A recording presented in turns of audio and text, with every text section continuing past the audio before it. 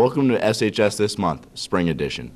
I'm Nick Hardy, and in this episode, we'll be updated on clubs, student life, and sporting events. To start off the show, we hear from Mr. Norton and his Destination Imagination teams. Mr. Norton, most people just call me Norton. It's a very good question. Uh, it is a little confusing, but the best way to summarize it is uh, Destination Imagination is a problem solving, a creative problem solving competition that is uh, takes place in eight or 18 or 19 different countries. It's actually kind of an accident. So when I was hired, uh, the superintendent at the time, Mr. Sarno, told me about this uh, engineering competition that the school was going to enter and they were going to, you know, would you host it if we hired you as the engineering teacher? And I said, sure, because you're never going to say to a potential employer, no, that'd just be silly.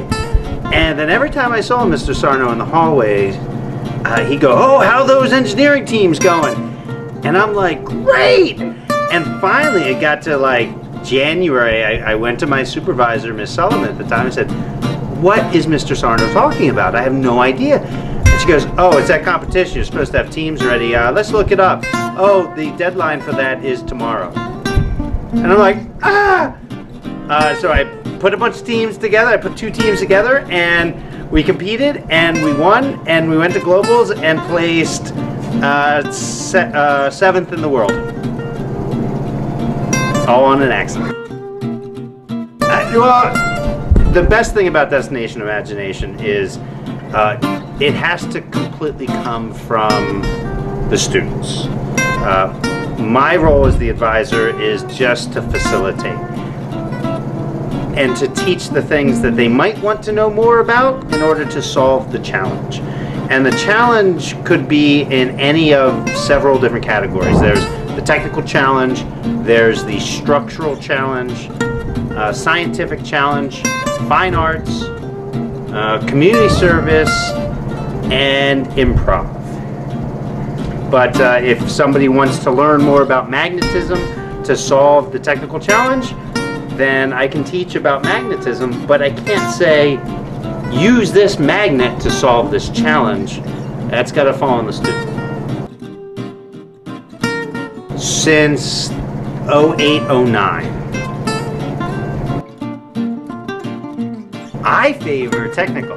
Now, uh, so we always, I, I, tend to make sure that, you know, I am a engineering and science teacher.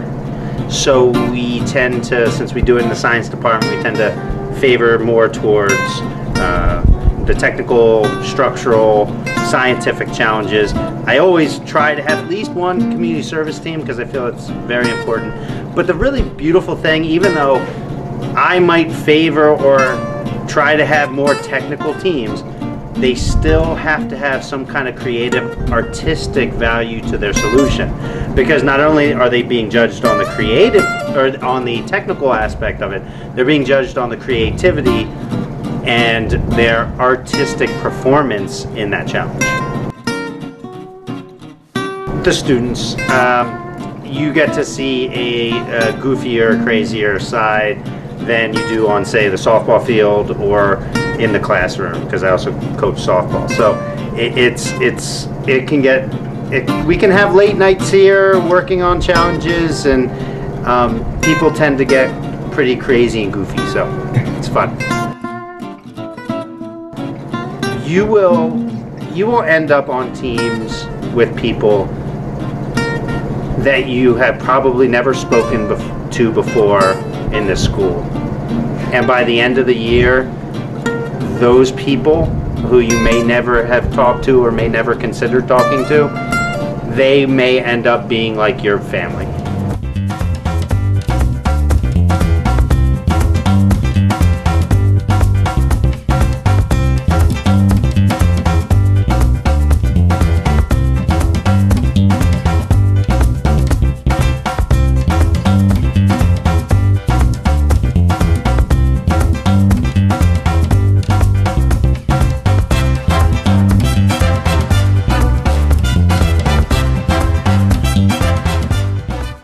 Thanks, Mr. Norton. Let's hand it over to Courtney Weiner from the DECA State Competition in Boston.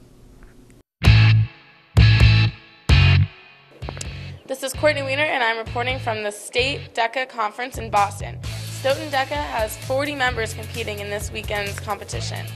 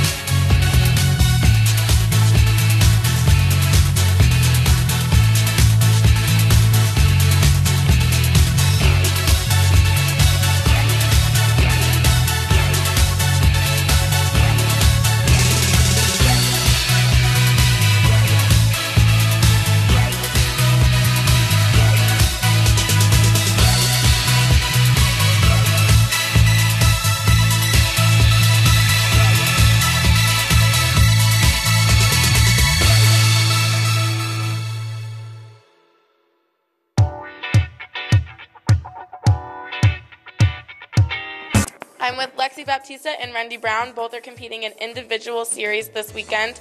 Is this any of your first state competitions? This is my first state comp. It is. How's it going? Um, it's going pretty well. It's really fun. I Already did one role play and I'm ready for the second. Awesome. What about you, Rendy? Uh, this is my second year competing, and I feel pretty confident about my first role play. Good. All right. So, what category do you guys compete in? I'm competing in restaurant and food service management. I'm competing in apparel and accessories marketing. And what has been your favorite part of the weekend so far, or what are you excited about? Um, my favorite part of the weekend so far would have to be like meeting all new people from like different like towns and different like DECA chapters, and it's really fun meeting new friends. I agree with Lexi. It's really fun meeting new people, and just like the the atmosphere here is really fun. Awesome. All right. Good luck, guys. Thank you for your time. Thank you. Thank you. I'm with Ryan Baresh. He is also competing in an individual series this weekend. Hi, Ryan. Hi, Courtney. How are you doing? I'm good. How are you? I'm doing great. Awesome. All right. So, is this your first time at a state competition? Yes, it is. It's my first time at States. Um, and how many years have you been doing DECA? I've been doing DECA for three years. Um, my first year, I was sick. I couldn't be able to go to districts. And then my second year, I didn't make it to States. So um, I, I, uh, started to study, and I finally uh, made it this year. So. Awesome. Congratulations. What category do you compete in? Um, I compete in restaurant and food service management. Um, last year and the year before that, I did hotel and lodging, but it wasn't really for me. So I switched it up, and uh, I think I made the right decision because I'm here now. Guess you did. All right. And why do you do DECA? Last question. Um, because um, really, it looks really good on our resume, and uh, that goes out to all like underclassmen that aren't in a club. They should really be interested in DECA because it's a lot of fun, um, and it looks really good for colleges. And uh, yeah, it, it's fun to you know meet new people. All right. Thank you, Ryan. Good luck with the rest of the competition.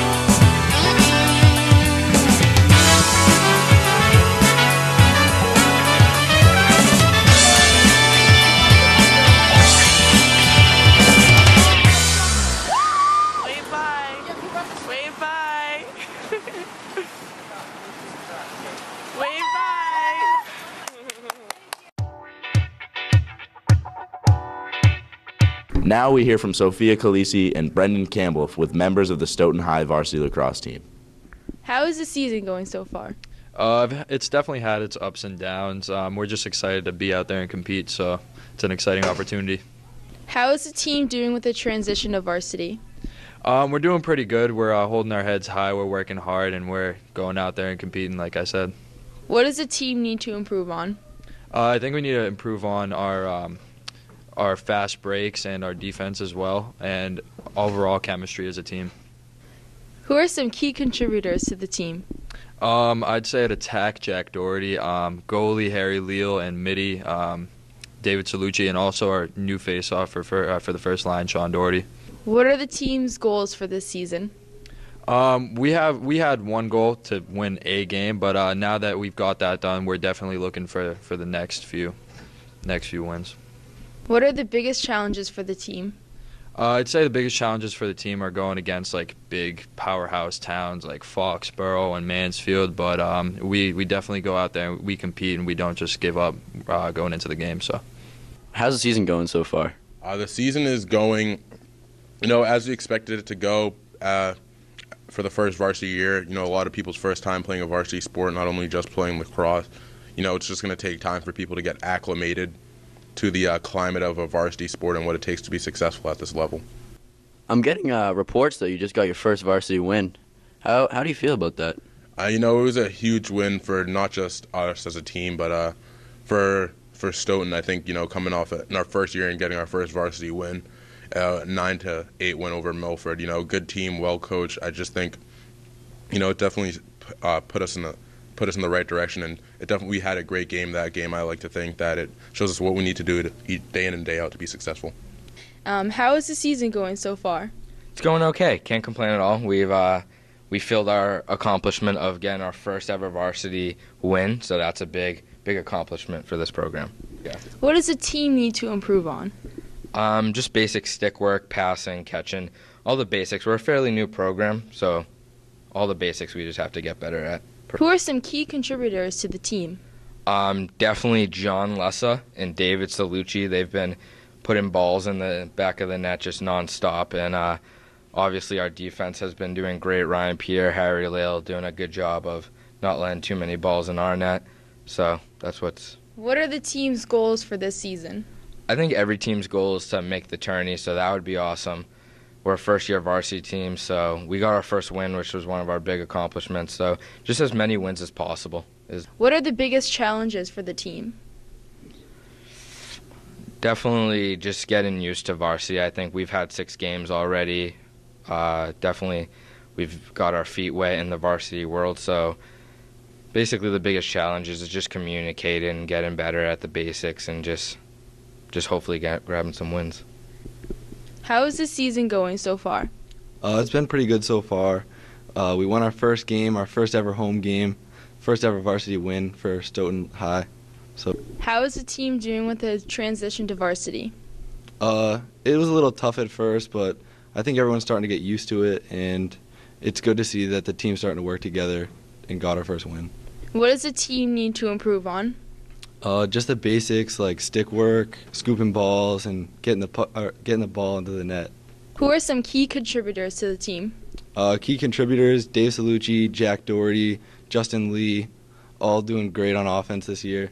And uh, we have Harry Leal playing goalie this year, just doing the best he can. He's doing awesome so far. And uh, Ryan Pierre on defense too. Um, what are the team's goals for this season? Uh, well, one of our main goals was to try and get our first varsity win, and we did that already. And now we also want to try and uh, push to try and make the tournament. That'd be a huge accomplishment for us. What are the biggest challenges for the team? Uh, biggest challenges is like from moving from JV to varsity. It's a big like push, and it's just tough as a first year program.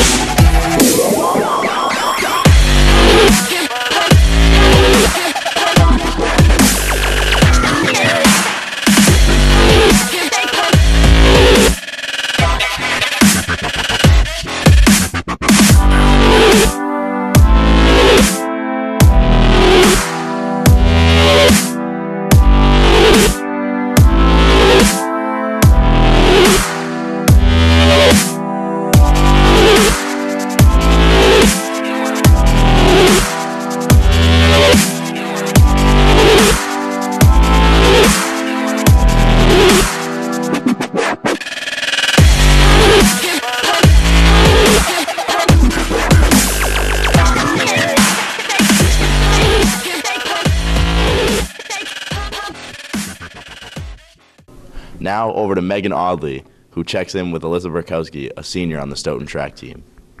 So, what do you do for the track team? I do mid distance, and specifically, I run the 800. Um, how is track going this year? Has the team had any major accomplishments? Throughout the season, we've had many PRs, but most importantly, in our meet yesterday, we won against Canton. Mm-hmm. Uh, how has track impacted your high school career? Well, I've never wanted to do track going into my freshman year, but I've I've said that it has been a big part of my life. I've made many great friends, connections to coaches, and many great memories. Um, do you plan to compete in track throughout college? Yes, I do. I plan to run for Eastern Connecticut State University. And do you have any uh, advice for underclassmen in track or that want to be in track? Yes, for the underclassmen, I say give it all you got, have fun, and take it seriously. Now we'll hand it over to Mackenzie Hudson with members of the varsity tennis team. Hi, this is Mackenzie Hudson. I'm here with Ellie Cashin, captain of tennis varsity. Um, who are some key contributors this year? Um, this year, I think some key contributors were Alex Soto, who played first doubles with Amanda Gallant.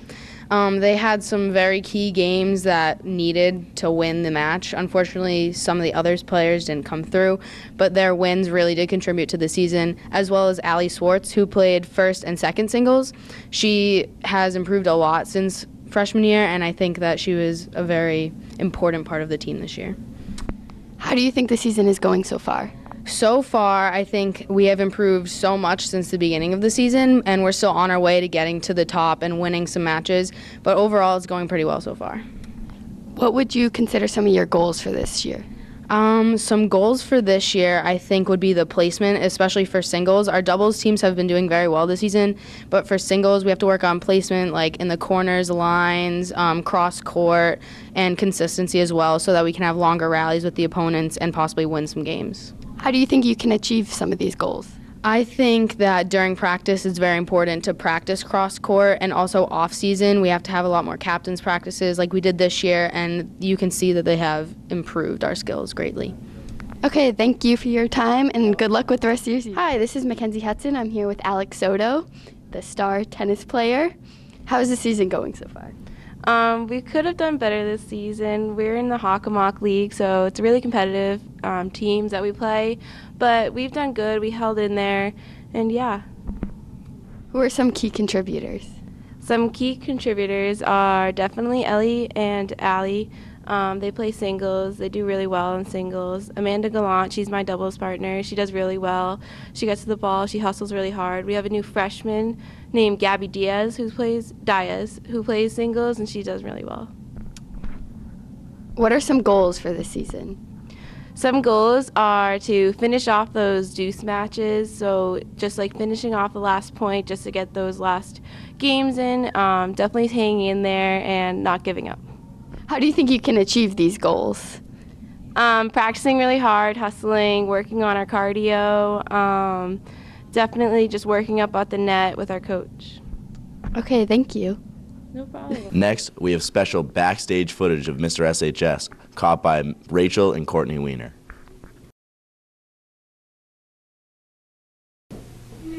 Hi, I'm Rachel Weiner backstage at the 2017 Mr. SHS competition. I'm here with Stevens Bontemps. So, Stevens, how has it been preparing for this competition? Yes. Wow, what a great answer. How about your talent part of the show? How was it working on that? You know what, how did you know what you were going to do for that? I didn't. See, I kind of just uh, put on some sus- suspenders, put on a hat, started slapping my legs, and that was it. Wow, what a great guy. I hope you had good luck and enjoy the show, guys. Thank you. Is it an honor to know that you were nominated for Mr. HHS? Uh, yes, uh, most definitely. So I can say when I come back, like l- later years, that hell, I gave, I left it all out there at high school, and I tried it in Mr. SHS, and whatever happens, happens. It was, it's been fun. That's some great spirit. Good luck out there and uh, good night. I'm here with one of the competitors, Tim Rigg. So, Tim, how does it feel to be nominated for Mr. SHS? Well, um, I'm very happy to be doing it. Um, it has a long tradition here at SHS. Uh, started with actually Jeffrey Pickett, so that's a great person to be uh, in the in the same shoes as. But no, it's just it's just a lot of fun, and uh, I'm hoping that I have these memories forever. Which competitor do you think is your biggest threat? Um, probably my fellow blues brother, uh, Ryan Baresh, because we killed our talent. So it's just either one of us at right now. Sounds good. Good luck tonight, and I hope you have fun. Thank you. You're welcome. I'm here with Jack Doherty. So, which competitor do you think is your biggest threat? Um, I'm gonna go with Steven Bontemps. That that German dance he did was just crazy. The only person I'm not worried about is Ryan Buresh, because why would we be worried about Ryan Buresh? That's an honest answer. So, how did you figure out what your talent was going to be? Oh, I've been actually waiting to do Mr. SHS for the past four years. So when 22 Jump Street came out, I, I just knew. I knew I was going to do that. That's some dedication. Well, good luck out there, and I hope you have a fun time. Thank you. Well, All right, this is Courtney Weiner, and I'm here with the winner of Mr. SHS 2017, John Podesta. Congratulations. Thank you. How does it feel? Feels great. I'm very excited. um, you did awesome. So, what was your favorite part of the night?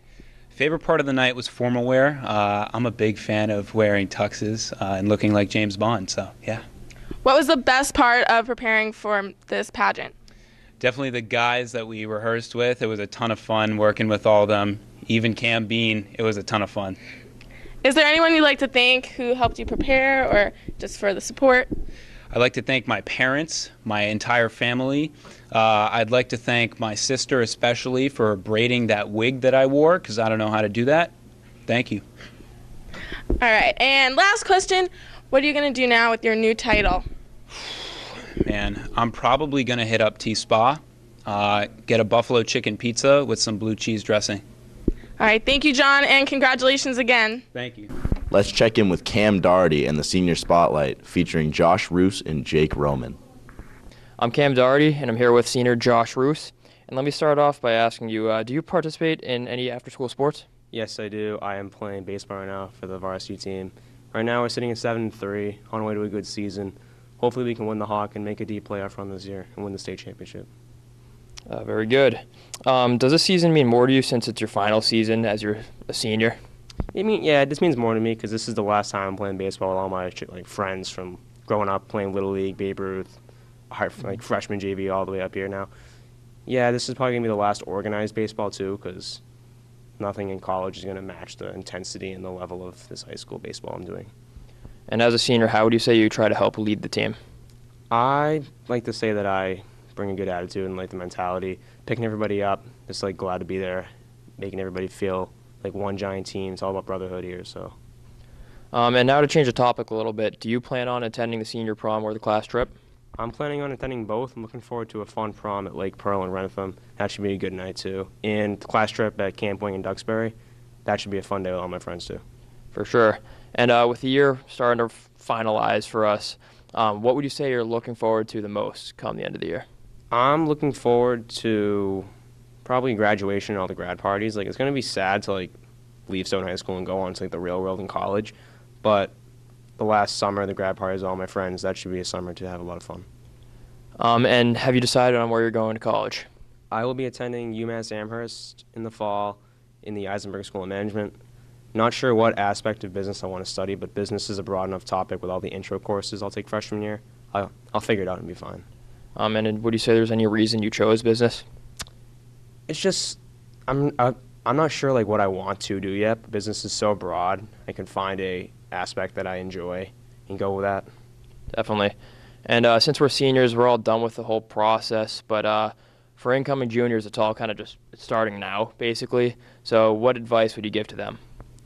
Listen to all your teachers. Listen to guidance. They know what they're doing. Do it early, and make sure you do like try 100% because everyone's like, maybe your college essay isn't important. You don't know that. Just do your best and do it early. Don't wait to do it to the last minute. Thank you, Josh. Thank you. I'm Cam Doherty here with senior Jacob Roman. And let me start by asking you uh, if you participate in any after school activities at Stoughton High. Other than helping out Mr. Vichet after school with editing and the video yearbook, I mostly participate in Games and Hobbies Club. Uh, why would you recommend getting involved in the SHS community? It's sort of a break from classes to relieve the stress of homework projects, and you can get to know your peers. Fair enough. Uh, what path do you see yourself taking after high school? Uh, do you plan to go to college? Of course, college. Uh, what what school have you chosen? I've chosen UMass Amherst. Very good. Um, what will you be studying at UMass? I'm going to be studying biomedical engineering at UMass. Um, is there any particular reason why you chose this major? Does it strike an interest that you have? Well, it's more so just to help people. I see people losing limbs, not being able to perform just the most basic functions. It would be nice to see them return to normalcy. Um, describe how you, how you have helped or assisted Mr. Boucher over the last couple of years.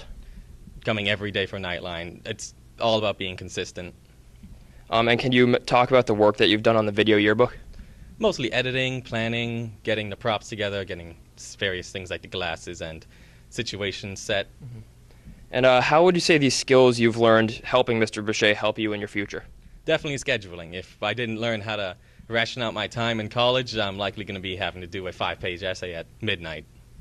And as a senior, you're already done with the process, but what advice could you give to incoming juniors who are about to begin the college application process? Have your guidance counselors look at your essay as the most important part. It could mean the difference between getting accepted and denied.